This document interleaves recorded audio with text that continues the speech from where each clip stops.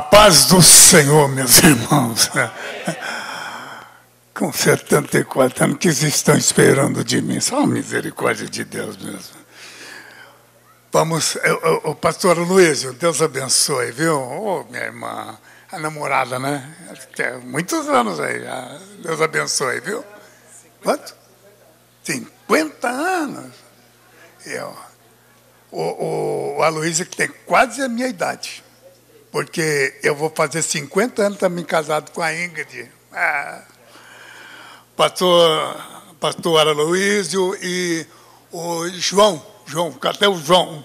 É o João, João Evangelista. Okay? João, é João Pastor. Deus abençoe, irmão João. É lá do Belém e o Aloysio aqui é de Santo Amaro, né? E a, e a Raildes, é, Raildes, é, sei lá, heroína, ficar ao lado. É que nem minha esposa, ficar ao lado de um, de um evangelista não é fácil, não é ao lado de um pastor. Nós somos da época que o pastor não ganhava. Imagina a dificuldade. Ah, eu sou dessa época. Muito bem, meus irmãos. O pastor Genilton, cadê o, cadê o Geildson? É Genilton. Né? Genilson. Como é que é? Genilson. É, vou entender. Parece japonês, né? Deus abençoe, viu, Gênesis? Oh, e tudo isso aqui é organização do Gênison. Gênison? Gênison, eita. É, só o cabelo dele que é meio de, de, de, de mas é gente boa.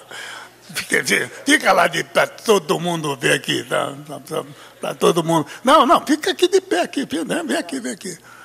O, o Gênison, Deus abençoe, querido irmão, Deus abençoe. E eu vim lá de Curitiba, porque o Gênison me trouxe aqui. Deus abençoe, viu, querido? Deus abençoe. Obrigado. Eu quero dizer aos cantores, eu vejo aí a cantora do Rio, cantora de Osasco, vocês não sabem, mas eu estudei lá no Seneate de Osasco.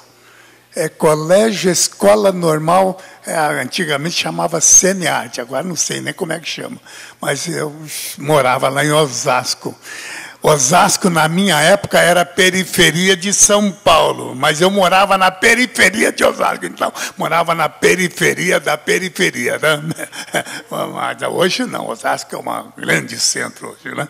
Deus abençoe a nossa irmã Beth, é isso? Deus abençoe. tem uma outra cantora lá, que é, acho que é a, da Quadrangular, como é o nome dela? É, não, é, a memória, vocês dizem o que é a memória, né? Mas é, o tempo passa, viu, meus irmãos? Vocês estão de pé estão ficando bravos comigo? Vamos ler a palavra de Deus então. É? Soraya, Soraya. Quando eu falei que era da periferia, ela ficou brava, porque ela também morava em Osasco, mas no meu tempo era periferia de São Paulo. E eu morava na periferia de Osasco, que era lá no quilômetro 18. Mas hoje não, hoje é um grande centro. Para vocês saberem, viu, meus irmãos, que eu sou aqui de São Paulo. Moro lá no Paraná, mas eu sou aqui de São Paulo. Que eu nasci no Paraná. Né? Morei lá perto de Presidente Prudente, lá no oeste de São Paulo. Né? Meu Deus do céu. Lá, lá em Álvares Machado, cidade só tem gente com a minha cara. Eu só vi um lugar que tinha gente mais parecida comigo do que Álvares Machado, Londrina e Maringá. É em Tóquio. Meu Deus do céu, todo mundo era parecido comigo. Eu nem levei minha esposa, porque vamos que ela abraça um outro japonês pensando que sou, ah, não, sou só besta. Não, mas é é a vida, é a vida assim. E aí está um evangelista. Vocês não imaginavam que houvesse um evangelista japonês. Mas eu não sou japonês, eu sou brasileiro. A cara não ajuda, mas eu sou brasileiro, viu? O africano vem aqui no Brasil, camarada olha para ele é brasileiro. O alemão vem lá da Alemanha, lá da Europa, a gente olha para ele é brasileiro. A gente fala em português, é brasileiro, hein? Mas o japonês nasce aqui e é japonês. Não sei porquê. Dizia o Zé Wellington, né? É, que eu sou um cearense com conjuntivite. Meu Deus céu, essa gente é maldosa. É. Glória a Deus, vocês estão cansados de ficar em pé. Vamos então ler a palavra de Deus. Eu vou ler alguns versículos, porque hoje, Gen, como é? Genison. É, eu chamo Genidson, mas é Genison. Ele está trazendo o troféu 2022. Eu sei que vocês devem estar pensando, mas está faltando gente aqui. Eu, eu, eu vou orientar o Gênesis, como é Gênesis. Você vai ver não é fácil. Porque existem três etapas. E aqui que eu quero trazer nesse momento em que nós estamos entregando, eu estou vendo aqui diversos cantores, vêm até do Rio, até de Osasco, né, Beth? E, e lá do Rio de Janeiro, que coisa linda, né? Essas cantoras que, que vêm lá do Rio. E eu queria então ler alguns versículos para nós vamos dizer, caminharmos, entrarmos nesse mundo, porque eu sei que estamos numa reunião especial. Vamos abrir em Efésios capítulo 4, versículo 13. Guardem isto, meus irmãos, este prêmio aqui. Até que todos cheguemos à unidade da fé e ao conhecimento do Filho de Deus a varão, e que aqui quando fala varão é varoa também. Varão perfeito à medida da estatura completa de Cristo. Vocês não pensem que isso aqui vai ser para a estatura completa. Não mesmo. Vamos abrir em Filipenses capítulo 3, versículo 14 os que têm Bíblia na mão. Filipenses capítulo 3 é o próximo livro que eu li em Efésios 4. Né? Então, capítulo 3 de Filipenses, versículo 14. Prossigo para o alvo, pelo prêmio da soberana vocação de Deus em Cristo Jesus. Fique sabendo, isso aqui não é o final o alvo. Quem tem o alvo pode até não chegar nele, mas vai chegar muito mais perto do que aquele que não tem nenhum. Deu para entender? Prossigo para o alto pelo prêmio da soberana vocação em Deus, em Cristo Jesus.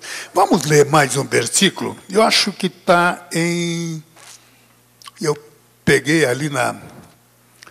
Ah, há uma diferença entre ser um pregador e ser um profeta.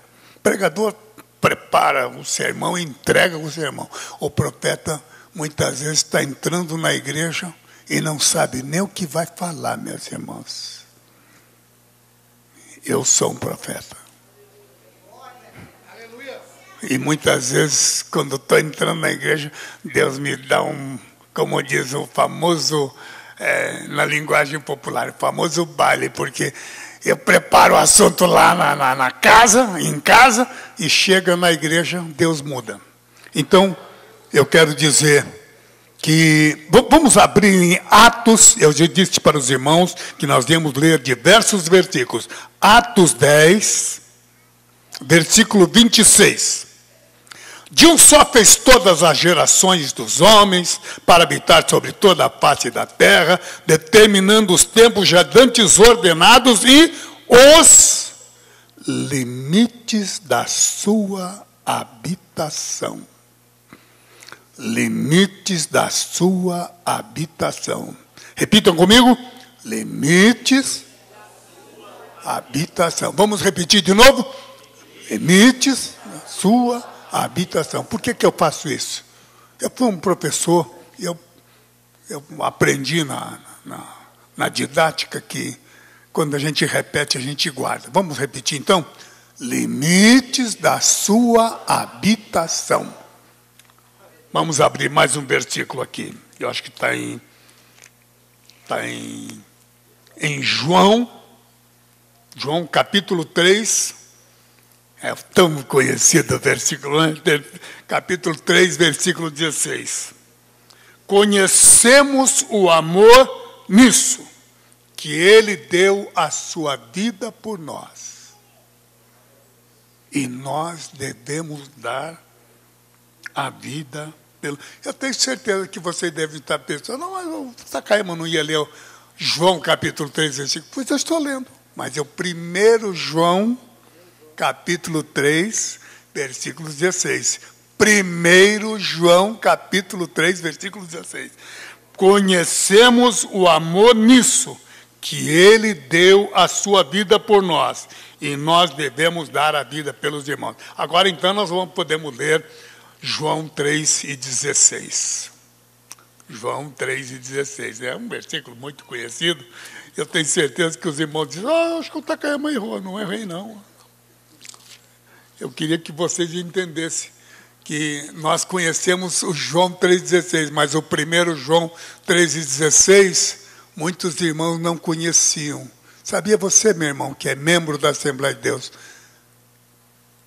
Conhecemos o verdadeiro amor nisso, que Ele, Jesus, deu a sua vida por nós. João 3,16, né?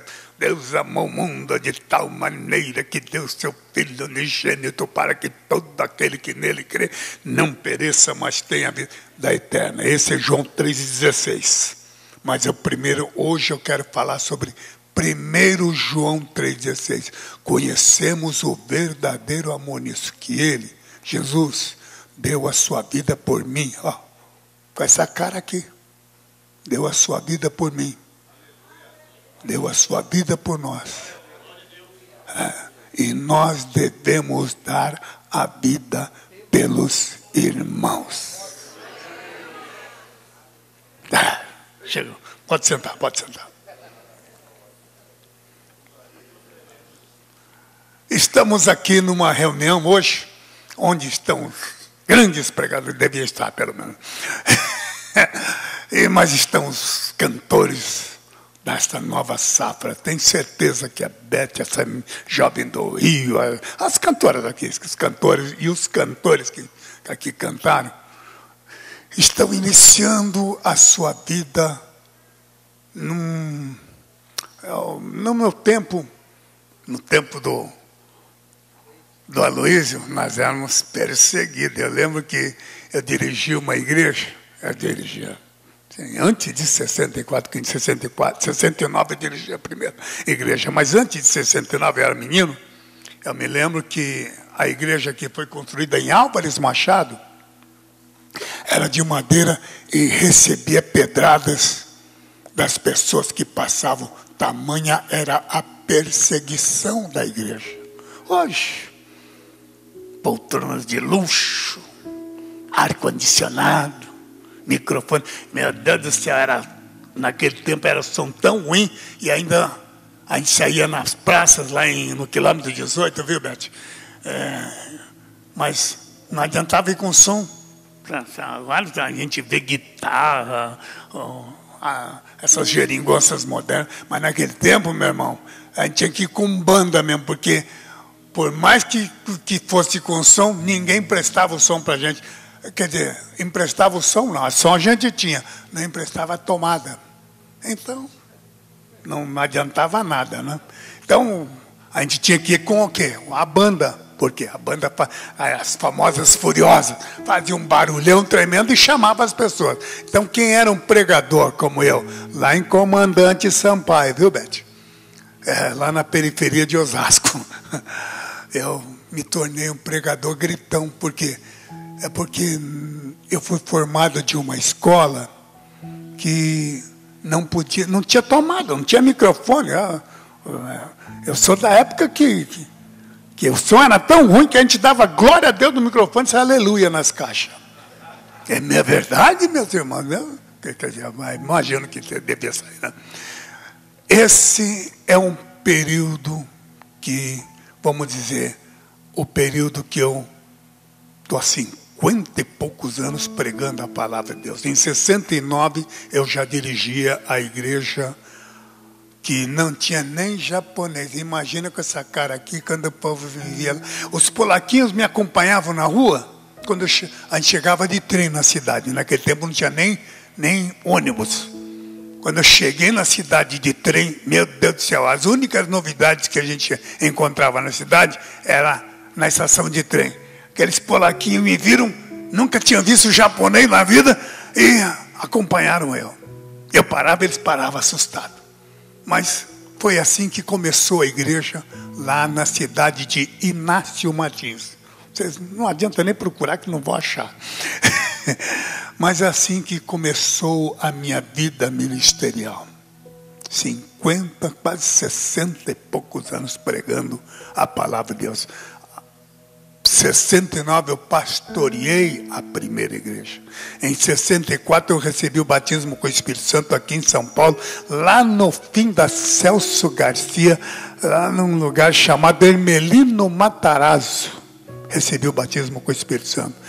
E vocês não têm ideia o que é receber o batismo com o Espírito Santo. Aqueles que não acreditam nisso, eu só posso dizer laconicamente: coitado, que pena você não receber o batismo com o Espírito Santo, porque é um, uma alavanca poderosa. E eu isso digo para os cantores e pregadores modernos e os crentes modernos. Recebam a glória do Senhor, o poder de Deus. Vocês vão ver que vai fazer uma diferença grandiosa, não somente no cantar, como no pregar, e na vida cristã. E é isso que eu quero falar aqui.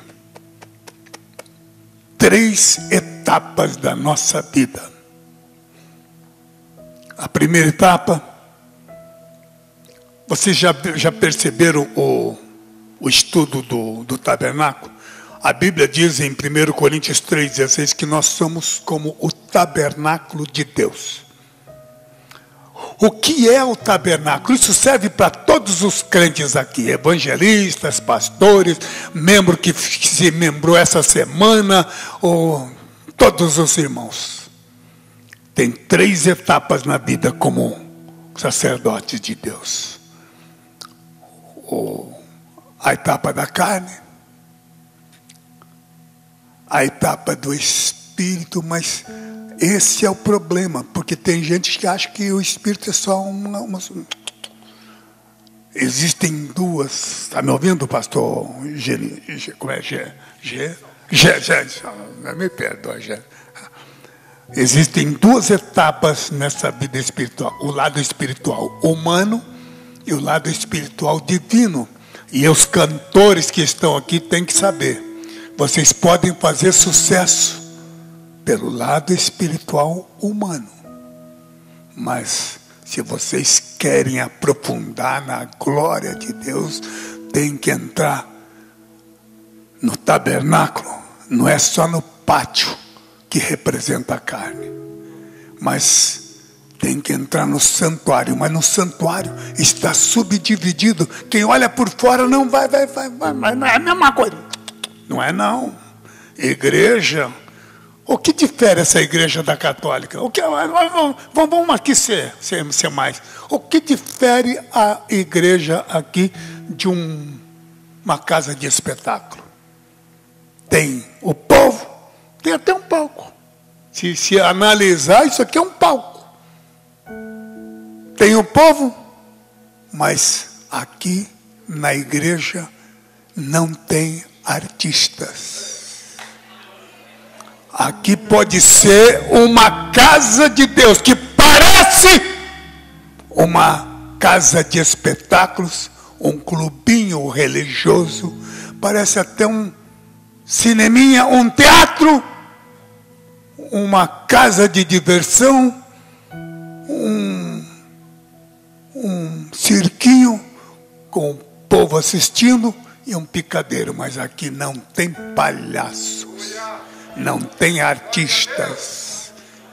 Aqui existe a glória de Deus. Nesses lugares você até paga para sentir o que você quer. Aqui você tem que ouvir o que Deus tem a falar com a sua vida. E aqui difere os cantores, os pregadores. Vocês podem receber o prêmio, o, o, o prêmio do homem até o santuário, mas o santo dos santos só Deus pode entregar a vocês. Isso eu digo para os cantores, isso eu digo para os membros, e você pode ter o cartão de membro assinado pelo pastor Aloysio. Mas é preciso ver se o teu nome está escrito no livro da vida. É por isso que eu li em Atos, Atos capítulo 1. Ah, meu Deus. Atos capítulo capítulo 17, versículo 26. Os limites da habitação. Você pode ter entrado no prédio da Assembleia de Deus, mas pode não ter entrado no limite do sobrenatural. Há uma música que um cantor, eu não lembro quem, que fala sobre o limite do homem e da razão. O limite da razão, todos nós nascemos, vamos aqui por, por, por, etapas. Todos nós nascemos com uma inteligência natural, que é a carnal. Cada um de vocês, eu, o Geni, como é G, G, G Jetson, Genitson, já, já, já. Pastor Aloysio, a, a namorada dele, com 50 anos, coitada. Todos nós nascemos com inteligência. Deu para entender? É a inteligência carnal. Um. Mas existe a cultura humana que você, desde as tuas observações, quando você se entende por gente, quatro, cinco anos, vai entrando na, na, na, na, como é? na pré-escola, depois faz o primeiro grau, segundo grau, terceiro grau e a pós-graduação é a cultura humana. Tá? Então, primeiro é a inteligência natural. Cada um de nós temos a nossa inteligência. Isso não depende de estudo. Cada um de nós temos a nossa inteligência. Existem até pessoas que não são tão inteligentes, mas por causa da cultura avançam porque se tornam a segunda cultura a segunda inteligência do homem, que é adquirida ao longo da, desde a pré-escola até os cursos pós-graduação. É a inteligência humana. Mas existe uma terceira inteligência, que a gente chama, como é que é? O irmão do Rio de Janeiro falou sobre essa terceira inteligência. É o discernimento e isso, meu irmão, não é o católico romano, católico ortodoxo, Assembleia de Deus da Missão, Assembleia de Deus da Madureira, a Igreja Universal, Mundial, Nacional, local, municipal, sei lá. Isso só Deus pode dar a você. Receba a glória de Deus. Eu quero que cada cantor e cantora e cada pregador que vai receber até o segundo limite. Mas o terceiro, meu irmão, é por isso que eu li essas passagens como em, em, em Efésios e Filipenses. Atingir a plenitude dessa graça, o pleno conhecimento de Deus prossigo para o alvo, para o prêmio da soberana. Vocês estão pensando que é isso aqui? Não. Isso aqui, o Geni, como é que é? Genison está apenas dando a segunda parte. A terceira, e yeah, não é pela cultura, não é pela, pela escola, porque alguns aqui podem fazer vocalize. Alguns podem estudar ser um doutor. E vocês fiquem sabendo, viu, meus irmãos e minhas irmãs, que na igreja não é a cultura humana, porque hoje existem pessoas que estão indo nas igrejas para ir ouvir o PhD em divindade, o, o como é que é? O doutor fulano, o bacharel ciclano. Não. Isso aqui é apenas a segunda parte. Eu quero que você entre na terceira e não bem pelo estudo humano, é de graça. Receba a glória de Deus na sua vida, meu querido irmão. Aleluia. E aí a pessoa não vai entender, por exemplo, eu estilo que entre a fé e, o, e a esperança e o amor, o maior. É, mas como que é o amor? Não é, não é a fé, não é a esperança. É o amor. E aqui eu quero falar também do amor nessas três etapas. Se você, como cantor, ou como pregador, ou como pastor, ou como membro da igreja, seja da Assembleia de Deus, de qualquer igreja católica, se você não tiver esse amor, e não estou falando do amor eros, não. Tem três tipos de amor: o amor eros, que da palavra eros no grego, vem o erótico. Vocês aqui estão aqui, sabe por quê? Porque houve o amor erótico entre teu pai e tua mãe.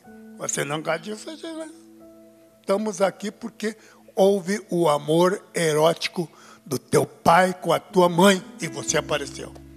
Esse é o amor, não, não vou aqui tirar os méritos dessa alegria.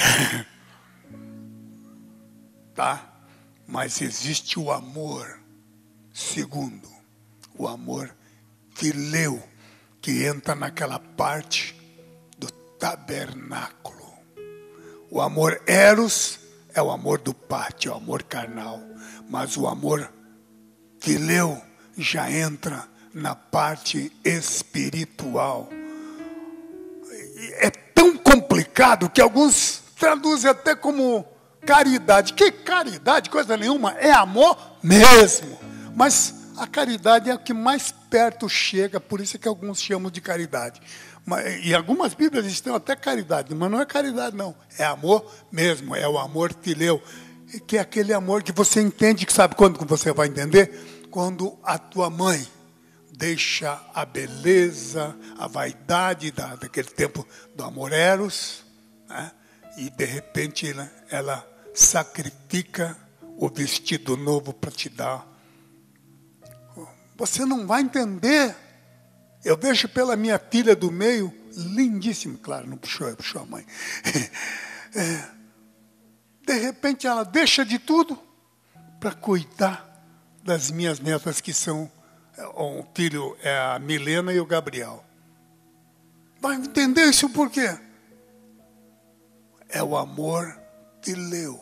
Daí surge a palavra filial que é o amor de uma mãe para com o filho, de um pai, que deixa tudo, sacrifica, sacrifica até o convívio da família para ficar lá fora, ganhando dinheiro lá fora o dia inteiro, ou alguns ainda ficam, são soldados, ficam seis, sete, oito meses fora e ainda tem, tem, tem, tem filhos que ah, o pai é um pai ausente. Que é pai ausente, coisa nenhuma. É que ele está sacrificando a vida. Eu não vou aqui, não vou aqui entrar no mérito da questão. Eu acho que ele, eu, eu vejo, por exemplo, quando, quando eu vejo alguém daqui para o Japão, hum, esse negócio de Japão,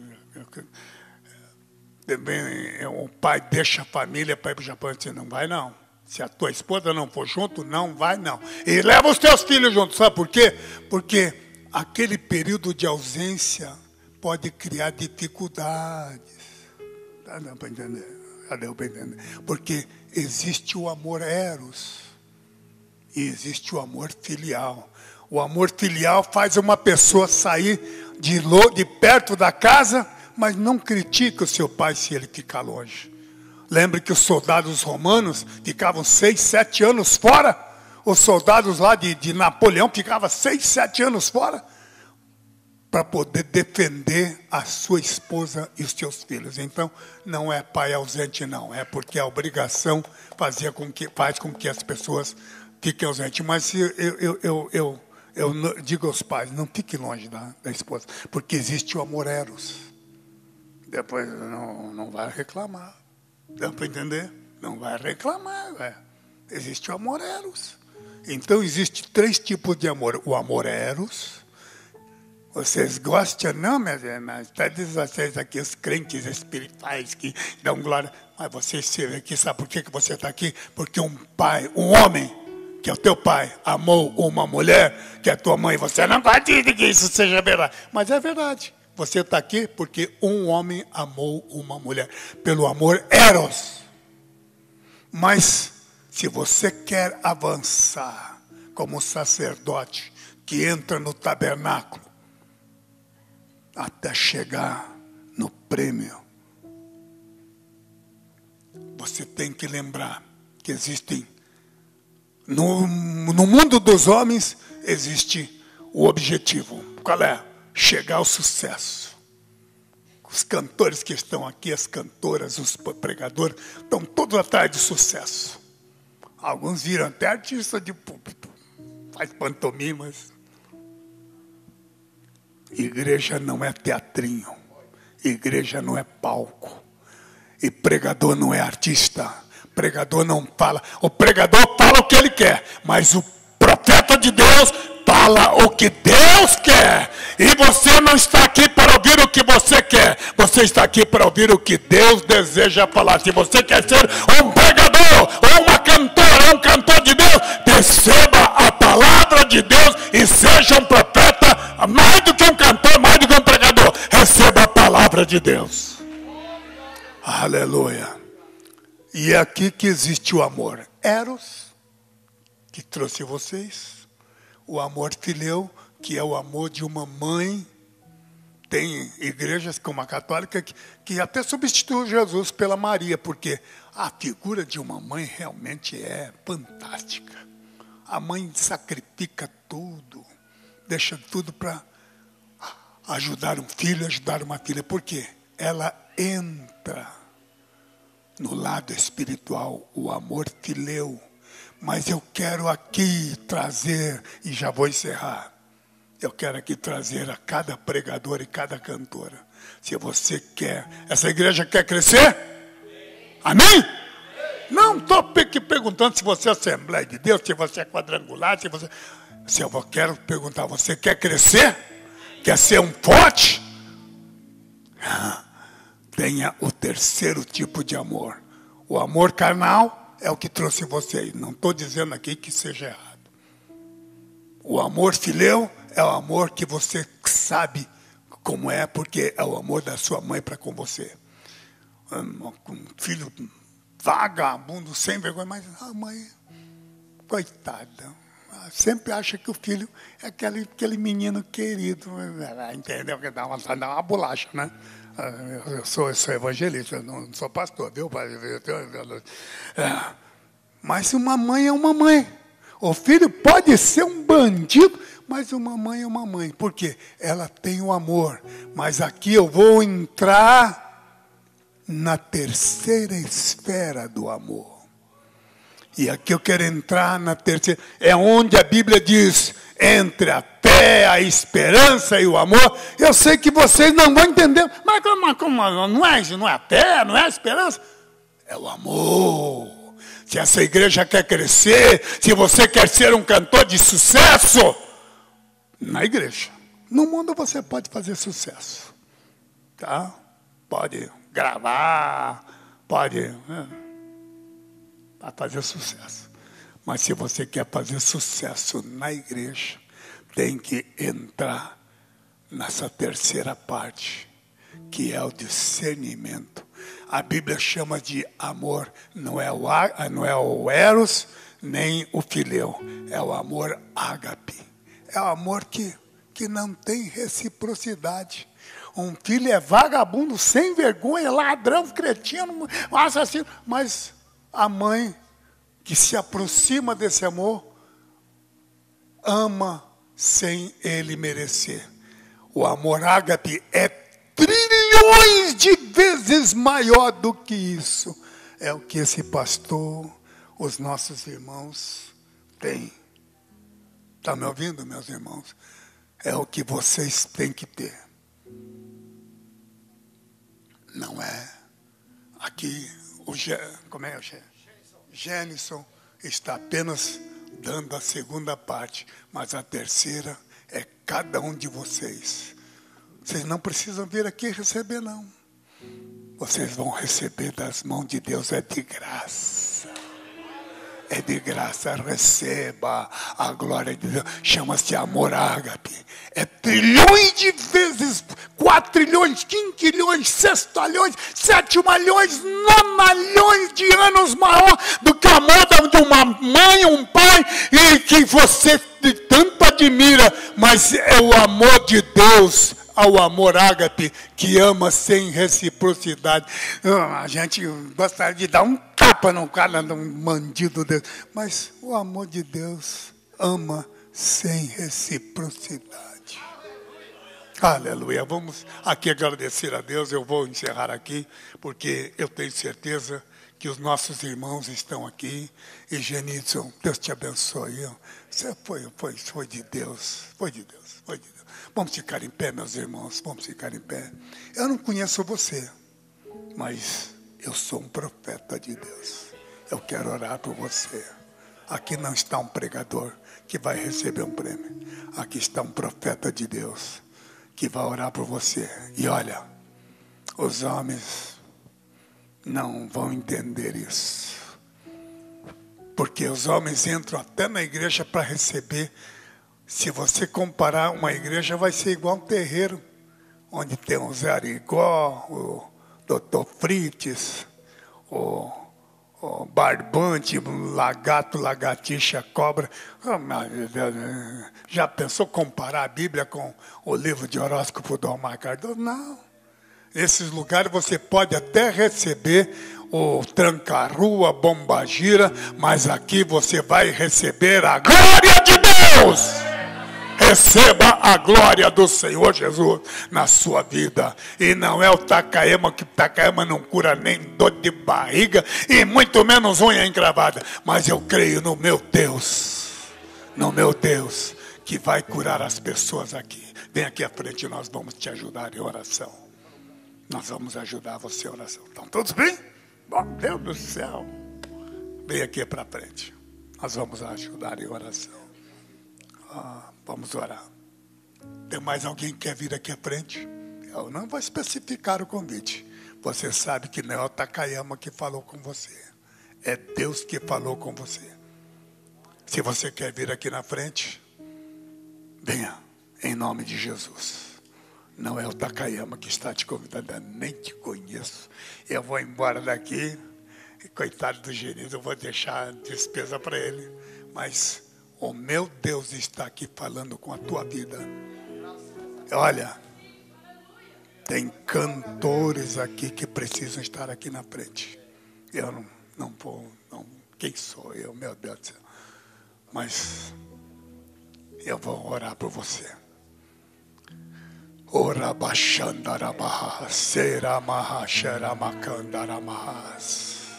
Aleluia, aleluia. Aleluia. Recebam a bênção de Deus nas suas vidas. Não é o troféu 2022, é a glória de Deus que está entrando na vida de cada um de vocês. Aleluia, aleluia, aleluia. Querido Pai, estamos na tua presença. Quem somos nós, ó Deus? Somos seres humanos mortais, cheio de defeitos, ó Deus. Takayama é um deles, mas a tua glória está aqui para nos abençoar. Abençoa os teus servos, os pastores e esta igreja, e a cada irmão, a cada cantor, a cada pregador, que a tua glória receba. Ó Deus, passa a abençoar cada vida. Recebe o louvor deste povo, em nome de Jesus. Amém.